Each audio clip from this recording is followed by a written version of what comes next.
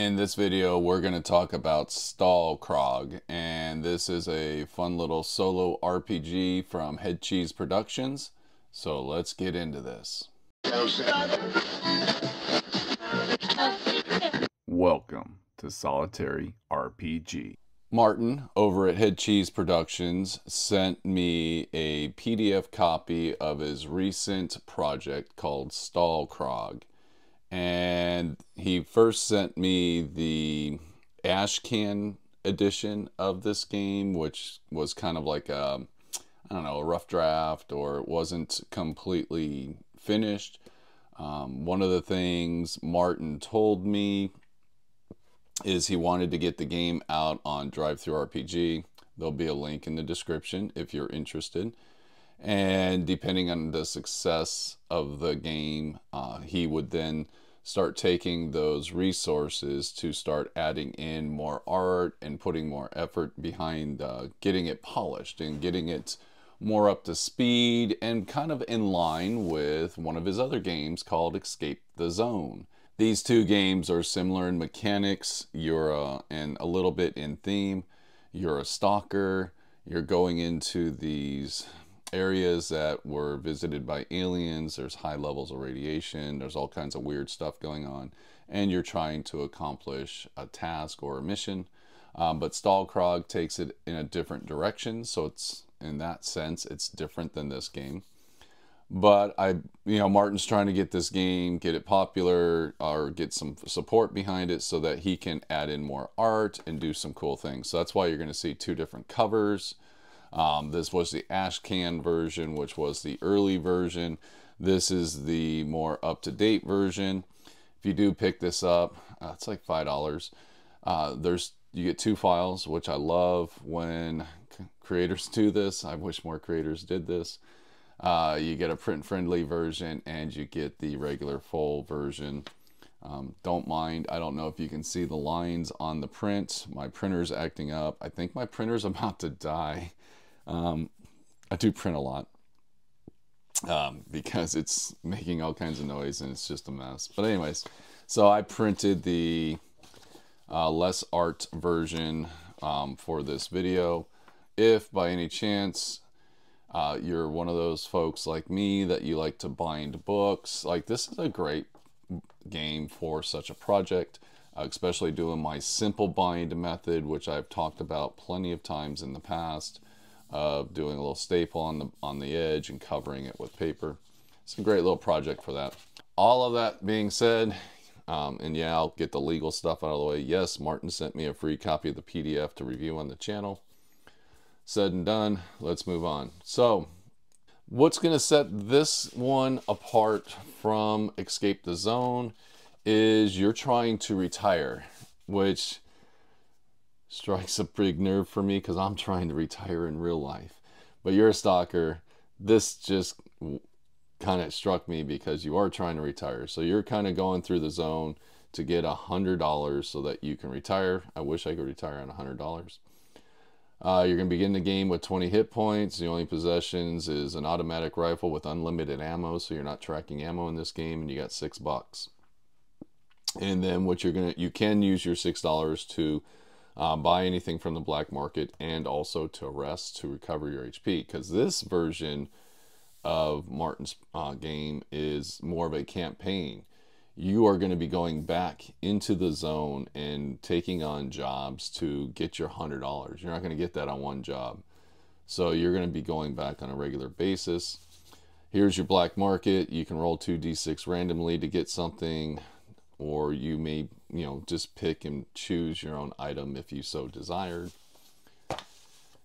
and this talks about resting. After a job you can go rest and you can recover hp in a safe place. So basically for every dollar you can uh, recover 2 hp you can rest during the game to recoup hp but there's a risk of something happening. So you take that chance because you are in the zone. So you're in the game at the time. And we see this in a lot of rpgs like in dangerous places you can't rest you have to find a safe place um, so we got fights so you're going to encounter people you fight till one person is dead Uh, the only way you can escape from a fight is if you have an item that lets you do so. Artifacts. Uh, artifacts are a little bit different. Um, you fight an anomaly or you encounter an anomaly, there's a possibility you're going to get an artifact. You have to roll a d6 and on a 5 plus, then you get the artifact. And the artifacts are found in the back of the book on page 17. So there you go. And then you just have other tests uh, you may be taking, and the rules will pretty much explain. This is a pretty straightforward system, a lot like um, Against Darkness. Uh, X is always a number that you have to defeat in the game. So if we're in a fight and someone has a fight value of three, you got to roll over a three, five. I defeated it, done. Um, not not things don't have HP or anything like that. You just defeat the fight. This is a pretty fast-paced uh, game. You're playing more of a campaign, and you're trying to generate funds, so it, it's just a little bit more fast-paced. Here are some special conditions that you can have during the game. You can be shaking, irradiated, or in darkness, and they affect your uh, some of your stats. And then you have uh, jobs and how much they pay. So you're basically taking on jobs to generate money uh, so that you can retire. So talks a little bit about jobs. You can uh, forfeit jobs, but you can only forfeit three jobs. If you do forfeit three jobs during your campaign, you're basically defeated. That it ends your game. So you want to be careful about forfeiting jobs too quickly. Every time you successfully complete a job, you roll 2d6 for money. So, woohoo, six, seven, eight. Uh, that, that got me eight bucks extra for doing the job. Uh, anything you find in the zone you keep, unless the job is uh, specific to finding something in the zone, then you do not get to keep that. And you can also sell stuff on the black market at half the price, rounded up. Artifacts just sell for $10 a piece. So to generate your job, you just roll a d6. I rolled a 4. And what you're going to do is just go to the number 4. So this is collect the sample.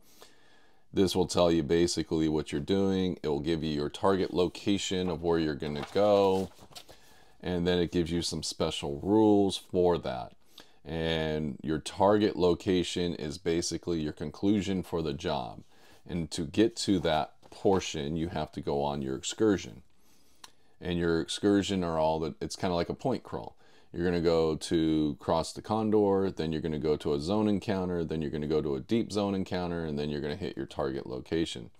And each one of these points in this crawl are going to have a table. You're going to roll on your d6. You're going to take whatever the result is, defeat that or complete that, and then move on to the next part. So here's the cordon. Here's your zone encounters. You're just going to keep rolling your d6. And some of these are just going to give you loot if you roll good enough. You have your deep zone encounter. And then you're going to end up in your target location. When we look at our job, it gives us our target location of the forest. So you just find your forest uh, location. And here it all is. You just kind of, you roll on this, you complete it, and then you completed the job. You're done and collect your, your money at the end, sell off your items, go rest, do whatever you got to do. And then you start over again trying to retire your character. That's the basic gist of all of this. And it is, it's just a fun little game that you can play quickly, easily. You don't need a lot. You just need 2d6, this little book. Uh, it does come with a character sheet. I do find that the character sheet is uh, it's lacking some information. Um, maybe Martin can update the character sheet because there's no place for your HP. And one of the things you can do is you can forfeit jobs, and there's no place to mark forfeiting the jobs on the character sheet. Uh, so those are just two things that are kind of missing. There's still a lot of space on this character sheet, so maybe that's something Martin can look into. I have been playing the game. It's a it's a fun little game, uh, and what I've done is I, I've played a couple sessions, and I've left myself blank. I'm gonna try something different. I'm gonna go ahead and continue uh, playing on my game. So now we're gonna do my next excursion point. Um, yeah, you're gonna look like I already played it because I did. Uh, while I was recording, my battery died, and I recorded everything and played so far and realized it and now I got to redo everything. So let me start from the beginning here. Um, I've added a little bit of an RPG element to my version of the game, which is something I like to do because uh, this isn't a heavy RPG. This is more of a mechanical game of just going through trying to collect your loot to retire.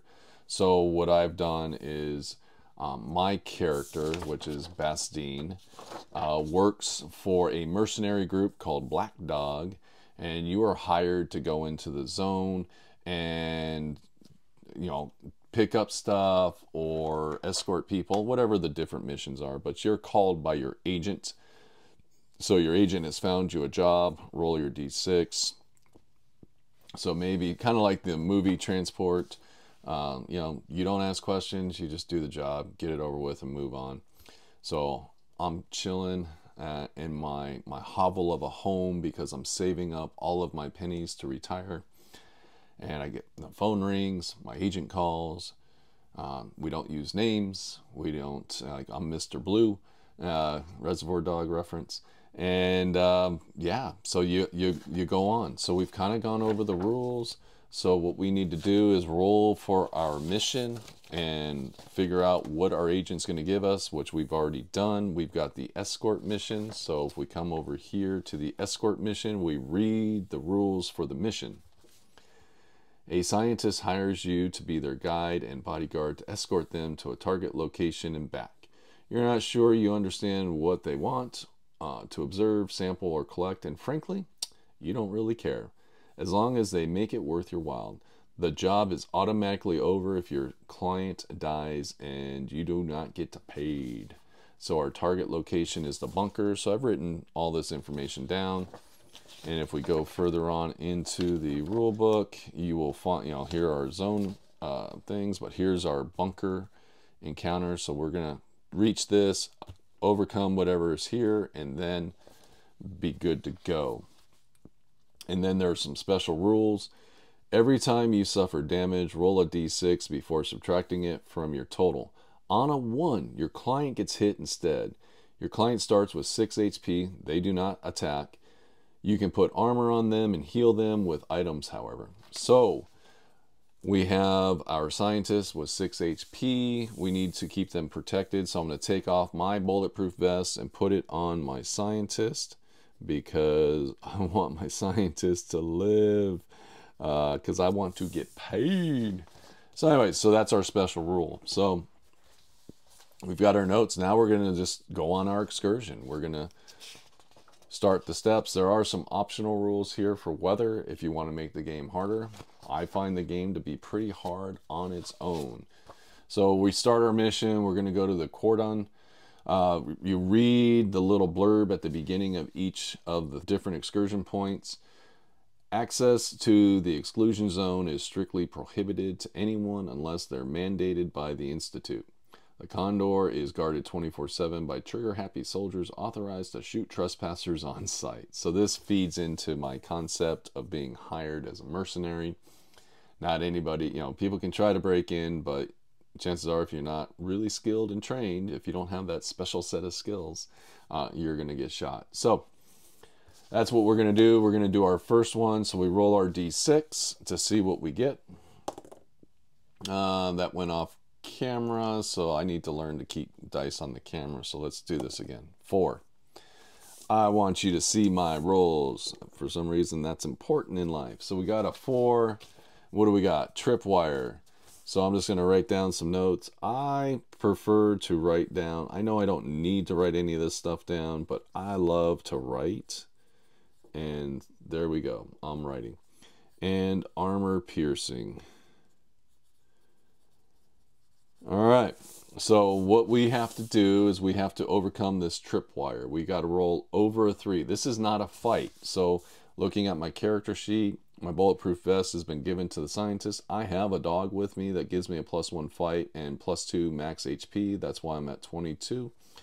Um, but this is not a fight. A tripwire is more of a skill check. This is considered those other checks. And if we go back into the rules, other tests, all other situations that require a die check are resolved by rolling greater than X on a D6. So my tripwire is a 3. So I have to roll over a three. I rolled a four, so we successfully passed the tripwire, but there's no reward. I get nothing. I just don't take damage. I guess not taking damage is the reward, so we're going to go with that. So now we go to the next excursion point, which is going to be the zone encounters. We're going to read the blurb.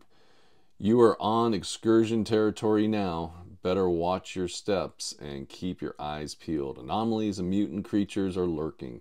Before rolling for a random encounter, make a 3 plus check to be or become irradiated and suffer 2 damage. So just like before, we're making a skill check before we even get to roll on our encounter. So we have to roll a 3 plus or become irradiated. I rolled a 6. Life is good. No one's going to become irradiated. And if we would become irradiated, if we go over to our, our rules, special conditions, irradiated, uh, you, you can't regain HP until you use a med kit or radiation pills. Does not clear between excursions. So my max HP is, is 22. That particular irradiation uh, condition gave me a minus 2.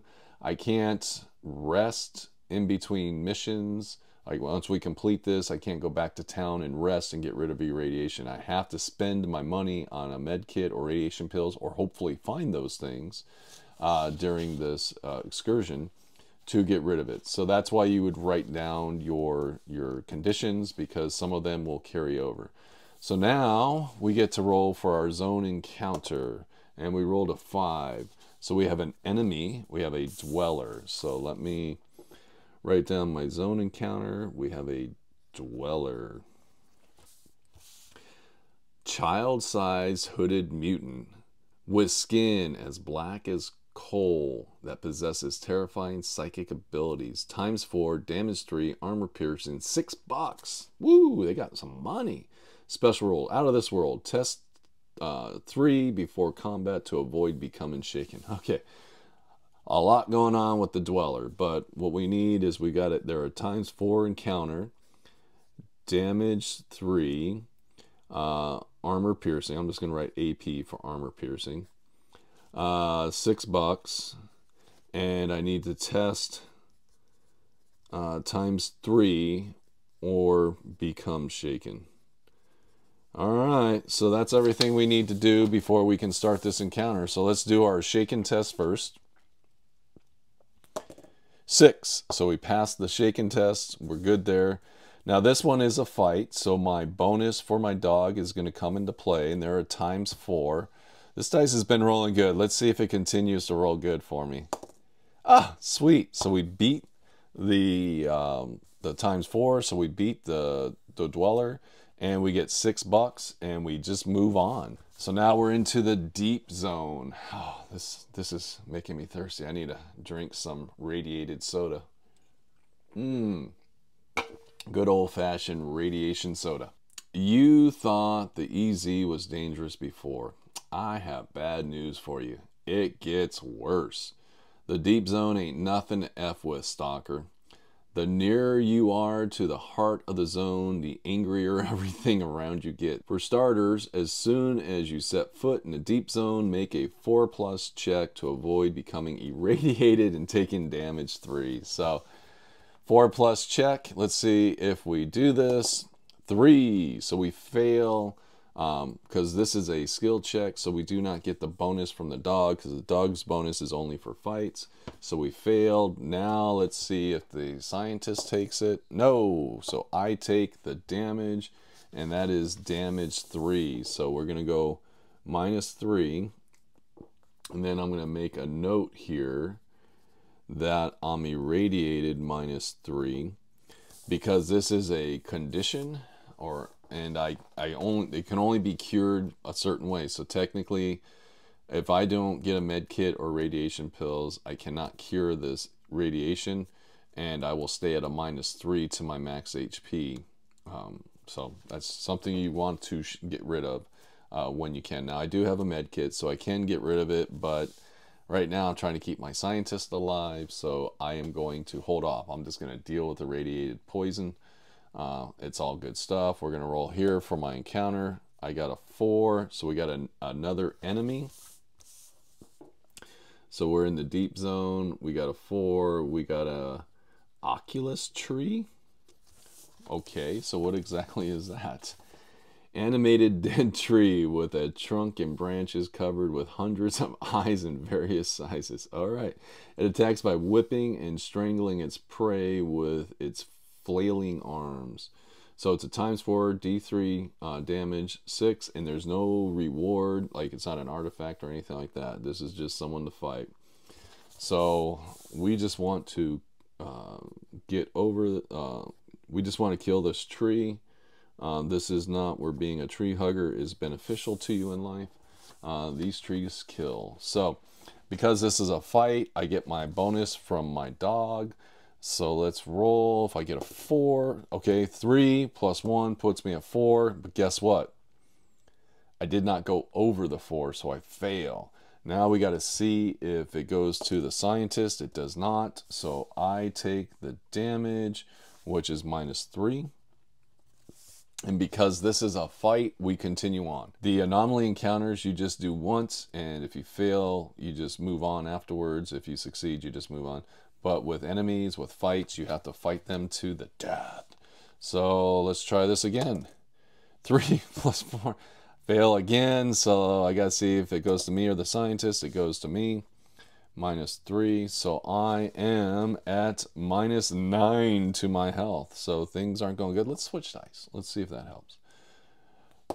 Yes. So I beat it and they don't have an HP value. Like this is a fast-paced game, so you just you're done. You move on.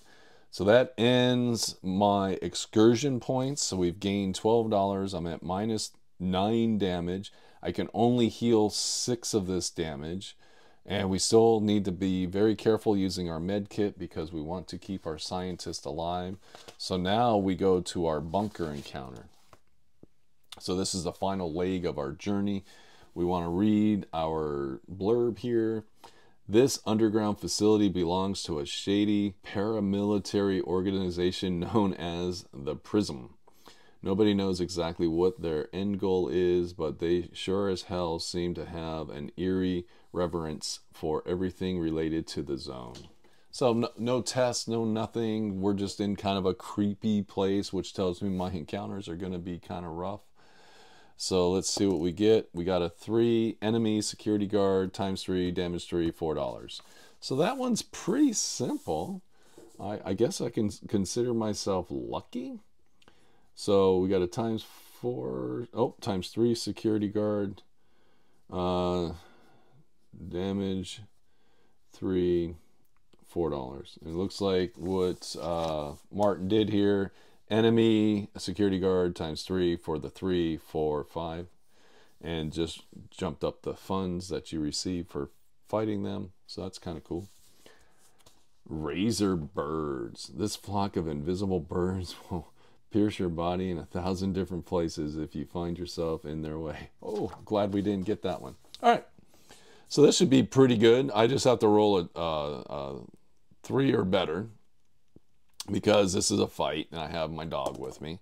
I rolled a six. We beat that encounter. Everything's good. We've completed our mission. Uh, we we took the scientists in. We do not come back out. I guess if you wanted to, you could take them back out. Um, that would be up to you. But it basically, once you get to your your target location, the game is done.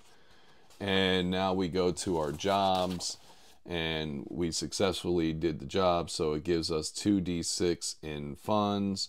Um, unfortunately, we didn't find crap um, in this mission. So let's just hope we find a bunch of money. Uh, eh, eight's not bad. So we got another $8 um, for this. So we got $24 uh, total for our our, our mission. So we would add that to the funds that we already have. I just do hash marks because I'm going to end up spending that because I have to do, I'm going to have to get rid of this radiation, which is going to require me to use a med kit. Now that we're back and I own a med kit, I'm going to roll a d6 and see how many um, HP I regain because I have to regain over three to get rid of it all. I gain two from that med kit. So my med kit goes away and my radiation only goes down to minus one. So I'd have to buy another med kit to get rid of that radiation plus or radiation pills. Plus I also want to heal my damage. So this is where you go to the black market and um, start doing things. I can heal my six points of damage by spending money, and then I'm just stuck with the one radiation, which I could just leave that alone and be okay with just the minus one for my next job so I can keep my money. So that's kind of how it all works. Uh, this is just a fun little game uh, that I've been having fun with. Um, you know, some suggestions to Martin uh, would be to first maybe make the character sheet more usable with, you know, the HP and the forfeited job mechanics. Um, I believe I talked about forfeiting jobs earlier, but if I didn't, let me recap on that. You can forfeit jobs. So if you roll up a job and you're like, that ain't gonna work, you can forfeit it and and and move on and roll for a different job. But if you do that, you can only do it three times and the game's over. So maybe making a, a tracking mechanism on the sheet. The other thing I'd you know maybe edit the weather uh, chart to just add the numbers in. Um, I had to handwrite the numbers in. But outside of that, everything looks pretty cool. I'm liking the the non-printed, non-art version, but um, I'm hoping that eventually this game gets put into a printed version with all the, the background information and just on a nice paper. And I'd like to add it to my collection of Headcheese production games. One of the things I love about Martin's games is these are great games to take with you on the go something you can take to work with you and uh, you, you, know you could print this this could be a pdf game and you can just have it on your phone it's something you can play at lunch when you're just kind of being alone uh, in the break room or in a quiet place you just have a little bit of fun because it just requires 2d6 a little a piece of paper to write down some information and you can just have a good time with it. This Stal Korg is a campaign game so that makes it a lot different than escape the zone uh, because you're going to continue to go back in and go back in because the goal is to really improve your character by finding stuff, getting stuff from the black market, getting your money so that way you can retire as a stalker and end your career as being a stalker and enjoy the um, I don't know the toxic beaches of wherever.